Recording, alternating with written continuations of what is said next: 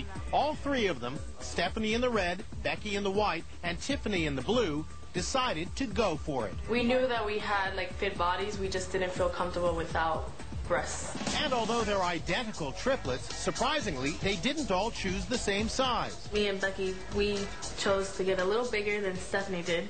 She got a B, and me and Becky got like maybe closer to a C.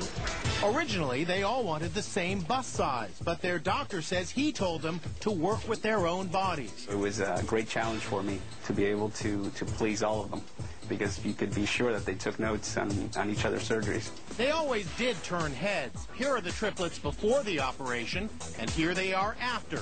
And they say their new curves make them feel complete. It's a triplet thing, so if one does it, we, all have to do it.